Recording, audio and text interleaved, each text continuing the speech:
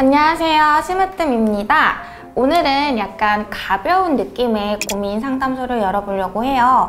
2시간 전에 인스타에다가 한 줄짜리 고민 상담소라고 올려서 빠르게 읽고 빠르게 답변하는 식으로 풀어내보려고 해요. 조금 재밌을 수 있고 조금 가벼울 수 있어요. 그렇기 때문에 너무 제가 좀 장난식으로 얘기하는 거에 대해서는 기분 상해 하지 마시고 오늘은 좀 즐겨주셨으면 좋겠습니다. 약간 옆집 언니, 사촌 언니, 뭐 그런 사람이 가볍게 툭툭 던져주는 조언이나 그냥 한마디라고 생각해 주시면 좋을 것 같아요. 시작해 볼게요. 아침 운동, 저녁 운동 택 1이라면 제 경우라면 하루 종일 에너지를 많이 쓰는 분들은 저녁 때문에 힘이 없어요. 그렇기 때문에 아침에 그리고 아침 저녁 상관없고 그냥 다이어트 목적을 두고 있다 하시는 분들은 저녁에 조금 더 에너지를 모아서 운동하고 유산소 운동까지 더하는 것을 추천합니다. 매일 기분이 오르락내리락 갈팡질팡 할 때는 최근에 어떠한 이슈가 나를 힘들게 하고 이렇게 갈팡질팡하게 만드는지에 대해서 원인을 찾아볼 필요가 있을 것 같아요.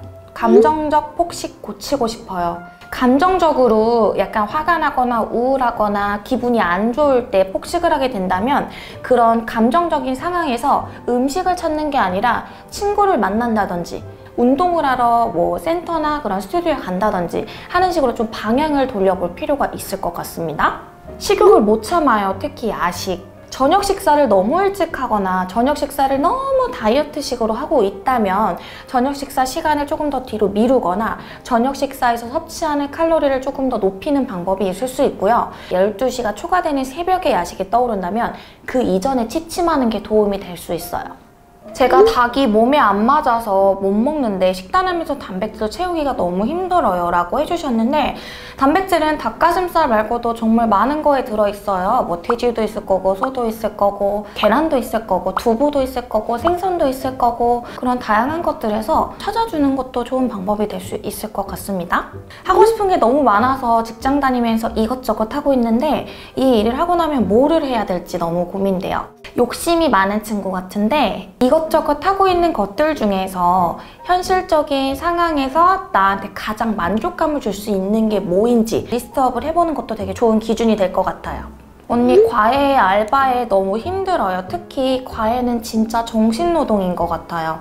언니의 밝은 에너지가 너무 부러워요. 과외랑 알바 너무 힘들죠. 특히 과외 같은 경우에는 1대1로 누군가를 가르치는 것 자체는 굉장히 감정적 노동이 될 수 있는데요. 지금 너무 지친다면 휴식 시간이나 내가 좋아하는 것들을 할 수 있는 시간을 확보하고 특히 과외 같은 것들은 좀 시간을 줄여보는 것도 좋은 해안이 될 수 있을 것 같습니다. 고강도 운동 후에 몸무게 증가는 운동을 잘못한 걸까요? 아니요. 고강도 운동을 할수록 우리 몸에서는 더 많은 휴식과 영양을 필요로 하는데 아마 더 많은 영양을 취하려고 나도 모르게 많이 먹거나 아니면 운동에 비해서 휴식 시간이 좀 짧았을 수 있어요. 그렇기 때문에 운동 강도를 조금 줄여보는 거나 빈도수를 낮춰보는 것도 도움이 될 것 같아요. 다리 근육 발달이 안 되는 운동이요. 근육이 많아서 다리가 두꺼워 보여요. 이건 팩트인데요. 다리 근육을 사용하지 않는 운동은 없어요. 다리 근육을 뺄 수 있는 가장 빠른 방법이 뭔지 아세요? 하루 종일 집에 누워있는 거예요. 근데 이건 불가능하잖아요. 다리 근육을 조금 더 빼고 싶다면 걸으세요.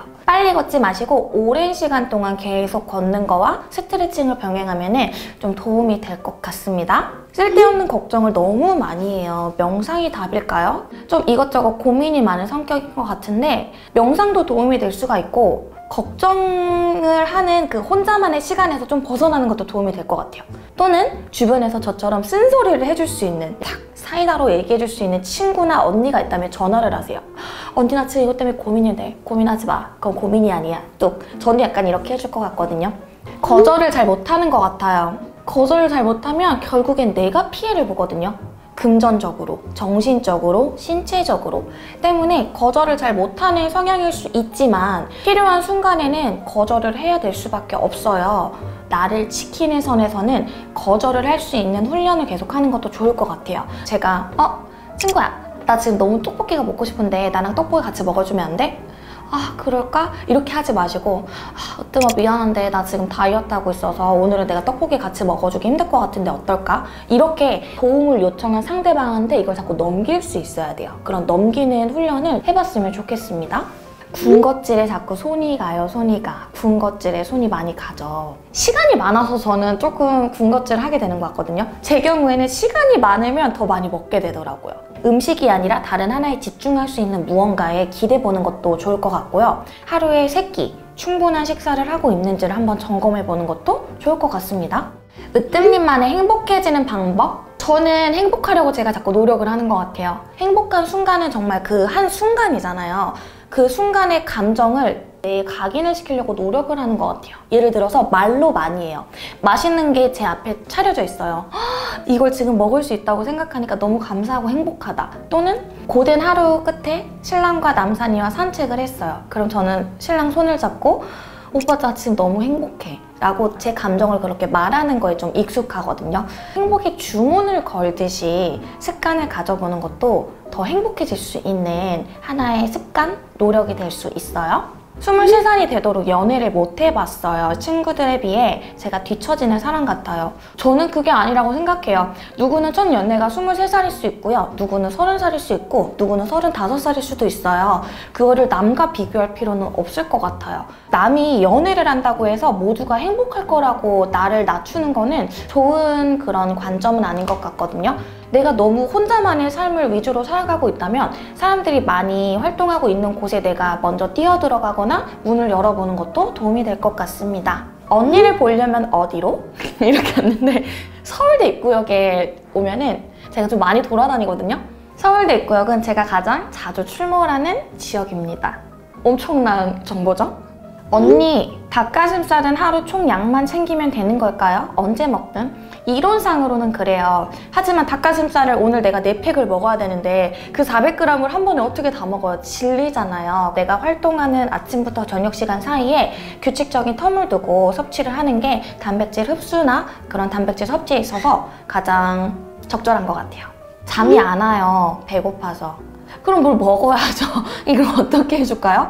가벼운 쉐이크 종류도 괜찮고 계란도 괜찮고 뭐 방울토마토, 오이, 숨기가 있는 거를 섭취해도 괜찮고 가벼운 스프라도 무언가 먹으려고 한번 해보세요. 배고프다고 몸에서 보내주는 신호와 안 먹겠다고 하는 내 머리의 신호가 싸우는 것 같거든요. 저는 몸에서 주는 신호를 더 진지하게 받아줬으면 좋겠어요. 하고 싶은 일과 현생. 근데 둘 다 자신 없어요. 선택이 두려워요. 제가 팩폭 하나 할게요. 선택 장애가 있는 분들 있잖아요. 책임을 자꾸 회피하는 성향이래요. 어떠한 선택도 남이 해줄 순 없어요. 떡볶이를 먹든 건강한 샐러드를 먹든 이거에 대한 뒷감당은 내가 하는 거예요. 그래서 자꾸 본인이 두 가지 선택지에서 먼저 선택을 하나 해보고 거기에 따르는 뒷감당을 내가 해보고 후회도 해보고 만족도 해보고 그런 결과에 따른 책임감을 자꾸 느끼는 훈련이 필요할 것 같습니다. 할 일이 없어요. 어떡하지 이거? 뭔가 재미있는 게 필요하다면 제 거 이제 운동 되게 힘든 영상들 있잖아요. 50분 운동 루틴 같은 거 오면은 댓글이 되게 재밌거든요. 댓글을 한번 읽어봐요. 그럼 되게 웃겨요. 태우성님 막 찾는 그런 거 있거든요. 그 운동을 해봐도 되고 펜을 들고 내가 살면서 해보고 싶은 것들에 대해서 리스트업을 해보는 거예요. 예를 들어서 저는 산을 좋아하니까 남산 가고 싶고 또는 돈을 모아서 내가 갖고 싶었던 무언가를 사기. 그럼 돈을 벌어야 되겠죠. 그럼 돈을 벌려면 일을 해야 되겠죠. 이런 식으로 물꼬리를 물고 가다 보면 은 할 일이 생길 것 같아요. 생리 전에 미친 듯이 단 것만 먹어요. 이거 모든 여자가 공감하는 거 아닐까요? 우리는 호르몬의 노예란 말이죠. 내가 초콜릿을 한 통을 먹었다면은 어, 한 조각으로 바꿔보고 식사를 멀리하고 간식을 가까이 하고 있는지는 한번 체크해 볼 필요가 있을 것 같고요. 간식을 먹고 싶은 만큼 먹더라도 그거에 대한 뒷감당은 또 내가 해야 되잖아요. 그러니까 내 몸에서 아무리 당기지만 어느 정도 선에서는 좀 절제도 필요할 것 같아요. 초콜릿을 다섯 개 먹고 싶은데 빵개 먹고 그걸 힘듦을 고통을 감내하라는 게 아니라 초콜릿을 다섯 개 먹고 싶은 마음이 들지만 한 개로 만족할 수 있는 그런 기준치를 잡아놓는 거는 굉장히 큰 도움이 될 거예요. 욕심을 줄이는 방법이 있을까요? 욕심을 줄일 수 있는 방법은 자꾸 만족하는 습관을 들이는 거예요. 저도 욕심이 되게 많은 편이고 어릴 때부터 생활기록부에 으뜸이는 욕심이 많습니다. 이게 굉장히 많았거든요. 만족하는 삶을 살다 보면 은 욕심을 조금 줄이고 내가 충분히 할 수 있는 것들에 대한 만족하는 삶을 살게 되더라고요. 힘든데 퇴사할까요? 어떡하지? 우리 직원이 이런 이런 생각을 하고 있으면 안 되는데 힘든 건 감정이죠. 퇴사는 현실이고 퇴사를 하고 내가 플랜 B가 있는지 저는 궁금해요. 플랜 B가 없다면 현실적으로 내가 갑자기 길바닥에 나앉게 생기는 경제적인 손실이 있을 텐데 이성적인 판단을 해보는 게 어떨까요? 으앙 너무 예뻐요. 바로 운동하겠습니다. 이거 뭐야? 화이팅! 제 질문은 한 번도 답변을 안 해주는 게 고민이에요. 어떡하죠? 정말 미안해요. 제가 스토리를 한 번 올리면 진짜 질문이 몇백 개가 순식간에 쌓여요. 저는 모든 질문에 답을 해드리고 싶었거든요.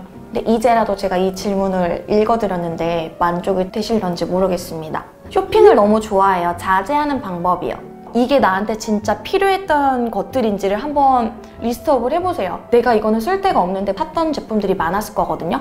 그리고 내가 쇼핑을 왜 해야 되는지, 내가 무언가에 대한 결핍이나 그런 스트레스가 어디로부터 쌓이는지를 한번 체크해보는 것도 좋을 것 같아요. 그리고 쇼핑을 해야 되는 지점을 만들어 놓는 것도 좋을 것 같아요. 예를 들어서 내가 목표 한 달에 이만큼의 돈을 아껴서 이만큼의 돈을 모았어요. 그러면 이걸로는 뭐든 사도 괜찮아. 약간 이런 나만의 룰을 잡아놓는 것도 괜찮은 기준점이 될 것 같아요.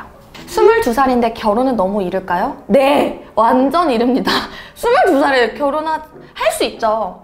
근데 22살은 아직 인생을 경험하기에는 너무 이제 시간이 아주 많이 남았거든요. 저도 29에 결혼을 했어요. 근데 저는 저희 신랑을 만나지 않았다면 결혼을 30대 중반 후반에 했을 수도 있을 것 같아요. 결혼이라는 거를 통해서 생각보다 많은 책임을 내가 져야 되고 혼자만의 삶이 아니라 둘의 삶, 나중에 자식이라든지 또 시댁이라든지 더 여러 명의 삶을 생각해야 되기 때문에 어느 정도 좀 진지하게 한 번 더 고민을 할 필요는 있습니다. 하고 싶은 일을 하는데 늦은 나이가 있을까요? 제 생각으로는 그런 현실적인 상황을 배제한 상태에서는 없다고 생각해요. 그치만 현실적인 상황을 우리가 고려를 해야 되잖아요. 우리는 현실을 살아가고 있기 때문에 그래서 나이를 고려할 필요도 있다고 생각을 합니다. 하체 운동 루틴 가르쳐주세요. 유튜브에 검색하세요. 힙으뜸 하체 운동 루틴. 정말 많은 영상이 나올 겁니다. 아침에 몸이 안 일어나져요. 어떻게? 만성 피로인가요? 아니면 체력이 없어서? 아니면 피로가 누적돼서? 너무 막 피곤한 날에 일어나야 돼요. 그러면 눈 뜨자마자 강시처럼 벌, 벌떡 일어나서 거실로 달려가서 이 추운 날씨에 창문을 열어요. 그러면 그 찬바람이 내 피부에 닿으면서 잠이 확 깨거든요. 이렇게 극단적일 때가 있고 때로는 거실에 매트를 깔고 바로 누워서 한쪽 다리를 안아요. 그러면서 호흡을 막 깊숙이 해요. 막 하면서 잠을 깨려고 노력을 하는데 내가 아, 몸이 힘들다, 피곤하다에 젖어들지 마시고 잠을 깨려고 하는데 조금 더 포커스를 맞추는 것도 도움이 될 것 같아요. 몸무게 숫자에 대한 강박을 없애고 싶어요 라고 해주셨는데 체중계를 일단 치우세요. 한 달 동안 저기 옷장 안에 박아두시고 대신에 운동을 통해서 몸을 바꾸는 과정에 있다면 매일매일 거울을 통해서 어제와 똑같은 몸인지 아니면 어제보다 조금 몸의 컨디션이 나았는지를 체크를 해서 만족하는 습관을 들이세요. 집에만 있으니까 번아웃이 왔어요. 하, 저도 같은 공감을 하게 되는데 집에만 있지 마시고 하루에 산책을 30분만 해보세요. 하루 종일 집에 갇혀 있는 것보다는 아예 집 밖으로 나가서 10분이라도 걷는 행위는 충분히 이 번아웃에 대한 거에 해소를 가져다 줄 수 있습니다. 솔직히 몸매 좋은 사람이 너무 부럽고 질투나고 그래요. 훌쩍훌쩍. 그 사람으로 인해서 내가 아 나도 되게 동기부여가 되고 저 사람처럼 되면 너무 좋겠다 하는 모티베이터 역할을 해줄 수 있는 상대면 괜찮은데 누구를 볼 때마다 자꾸 현타가 오고 짜증이 나고 질투가 나면은 그 인스타 팔로우 끊으세요. 근데 그게 저는 아니었으면 좋겠어요. 왜냐면 저는 몸 자랑하려고 올리는 게 아니라 버금이들한테 약간 모티베이터 역할을 하고 있기 때문에 그렇게 너무 현타 받지 마시고 오히려 그걸로 인해서 내가 더 움직일 수 있는 계기가 되는 습관을 들이는 거 어때요? 밥보다 군것질이 더 좋아서 어쩌죠? 밥을 규칙적으로 먹은 상태에서 군것질을 먹어야지 군것질로만 내 영양과 내 건강을 절대 차릴 수 없어요. 저는 건강에 관심이 1도 없고요. 건강하지 않은 삶을 살아도 괜찮아요. 핫다면 괜찮겠지만 건강해지고 싶어요 하는 마음속 바람이 1%라도 있다면 군것질보다는 밥을 두 끼, 세 끼 차려 먹은 다음에 그 다음에 추가적으로 어느 정도 내가 허용하는 치의 간식을 먹어주세요. 시간은 부족하고 하고 싶은 건 너무 많을 땐 어떡하나요? 저도 약간 극과인데요. 저는 하루가 30시간이었으면 좋겠어요. 왜냐면 제가 자는 시간을 한 5시간, 6시간으로 두면은 부족해요. 근데 어쩌겠어요. 우리는 한정된 시간 안에서 그 삶을 살아가고 있는 그냥 인간일 뿐이잖아요. 그렇기 때문에 이 한정적인 시간을 인정을 하고 하고 싶은 것들을 그 시간 안에서 규칙성을 가지고 하려는 그런 것도 좋을 것 같습니다. 공부가 하기 싫어요. 어떡해? 저도 하기 싫어요. 근데 공부를 해야 될 분명한 이유가 있다면 하세요. 안 할 수는 없잖아요. 근데 공부 말고 내가 잘하는 게 관심도가 있다면 과감히 공부를 포기하고 내가 좋아하는 쪽에 시간을 투자하세요. 역류성 식도염은 어떻게 하면 좋아질까요? 그냥 의사분들이 처방해주는 그 가이드라인을 따르는 수밖에 없을 것 같아요. 맵고 자극적인 음식, 그 다음에 커피, 카페인 조심하시고, 그 다음에 자기 전에 식사하는 거 조- 주의하고, 그리고 뜨거운 거나 이런 것들 좀 피하고, 그리고 스트레스 컨트롤 하는 거.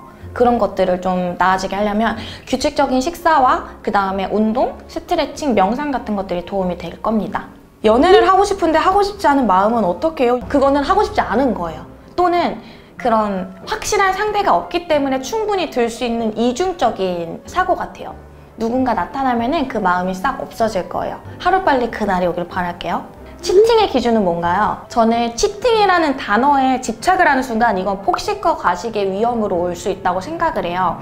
내가 다이어트를 하고 있다면 규칙적으로 일주일에 한 번 정도는 보상 심리가 아니라 원동력이 된다면 주말에 점심 식사 정도는 맛있는 메뉴를 한번 드시고요. 이게 저녁 식사에 폭식으로 와서는 안 돼요. 점심 식사를 맛있는 메뉴로 하나씩 겸해서 병행해서 간다면 다이어트를 생각보다 쭉 오래 끌고 갈 수 있거든요. 오늘 저녁 뭐 먹을까요? 오늘 저는 치킨에 사이드로 치즈볼이 땡기네요. 다이어트 중이라면은 명란 아보카도 덮밥이나 계란이랑 아보카도를 잘게 썰어서 간장 참기름 소스에다가 김에 싸먹는 것도 맛있는 다이어트 식사가 될 것 같아요. 필라테스 시퀀스 잘 짜는 법. 강사분인 것 같은데 이거는 저한테 알려달라고 할 게 아니라 본인이 고민을 해야 될 부분 같아요. 내가 하고자 하는 운동 앞에 어떤 운동들이 탑처럼 쌓여져 가야 되는지에 대해서 progression에 대한 것들을 좀 연구를 해주면 좋을 것 같습니다.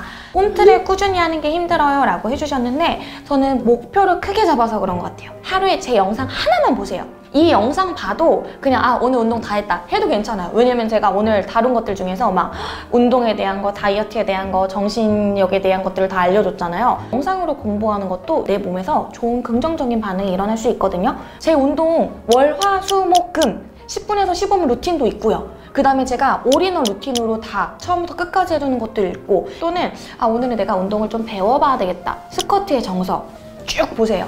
런지의 정석 보세요 그 다음에 플랭크의 정석 보세요.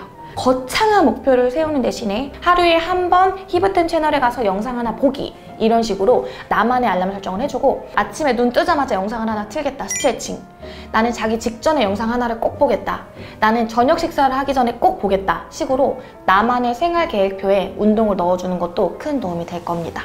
오늘 생각보다 가벼우면서 좀 짧은 고민 상담소를 진행을 했는데 재밌네요. 가끔씩 이렇게 리얼하게 바로 그날그날 올라오는 것들을 list up해서 랜덤으로 light한 한 줄짜리 고민 상담소를 운영해보는 것도 괜찮을 것 같습니다. 오늘 영상이 도움되셨으면 구독, 좋아요, 알림까지 부탁드리고요. 다음 영상에서 만나요.